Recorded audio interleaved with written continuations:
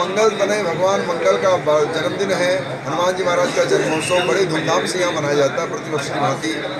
जो वर्तमान अखिल भारतीय अखाड़ा परिषद अध्यक्ष और हमारे पूज्य गुरुदेव भगवान है, जो बागम्बरी गद्दी के पीठाधीश्वर है, उनके माध्यम से, उनके करकमलों से भगवान की बहुपात्रों की आरती होती है।